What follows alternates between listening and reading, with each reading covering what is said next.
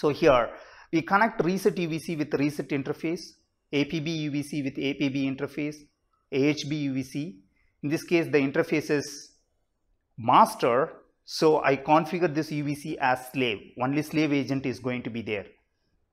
And this is USB, USB UVC. This is AHB slave. So I'm configuring the UVC as master. Look at here. And this is AXI master. So I'm configuring the AXI UVC as master, master to master communication. Or you can make it like slave and PCI, PCI UVC, GPIO, GPIO UVC.